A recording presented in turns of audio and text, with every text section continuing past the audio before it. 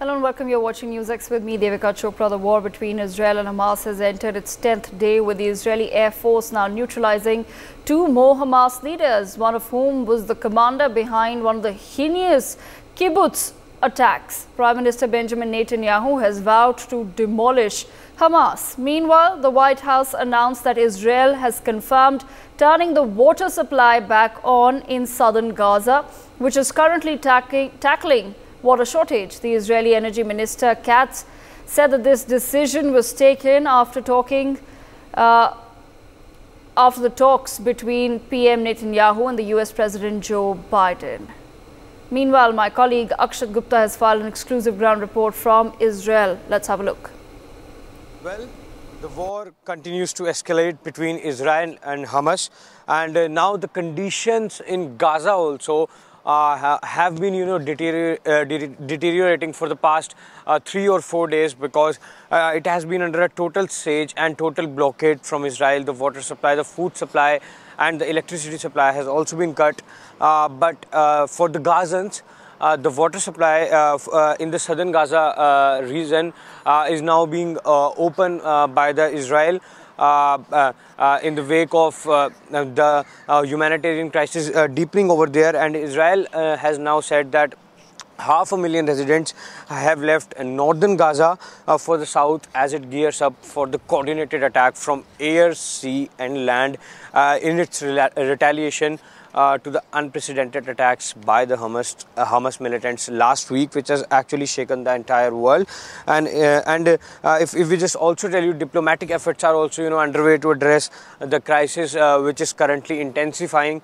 Uh, because the U.S. President Joe Biden also yesterday spoke and once again, you know, condemned the attack, and Israel has been launching uh, its offensive uh, against the Hamas militants continuously because uh, yesterday night also uh, heavy airstrikes uh, could be witne- uh, could be witnessed by the could could be witnessed. from both the sides, of course, heavy artillery here. Many military tanks have also been stationed near near the Gaza Strip, uh, for that uh, coordinated attack from air, sea, and land.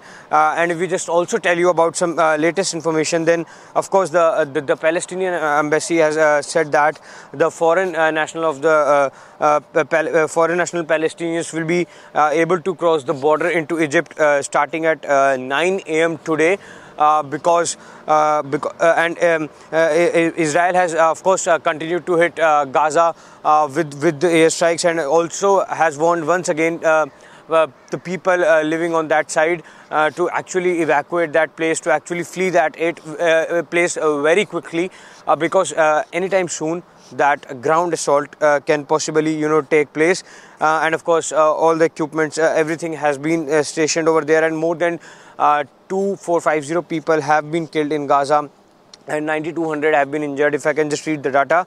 And in israel 1400 people have been killed uh, and 30 3500 people have been uh, wounded. Of course the death toll you know uh, continues to rise and it also perhaps uh, continues to take a toll uh, on the uh, people's normal life also.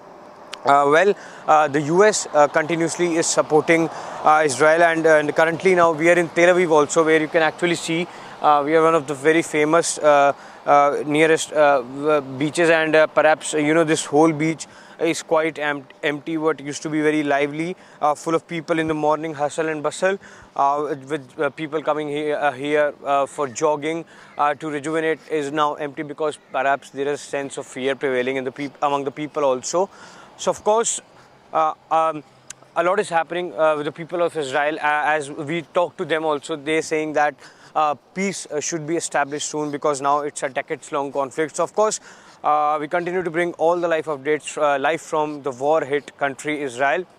And it remains to be seen as to how this war actually pans out. In Tel Aviv in Israel with camera person Dinesh Thakur, Akshat Gupta for NewsX. For more such videos, subscribe to the NewsX YouTube channel, hit the bell icon.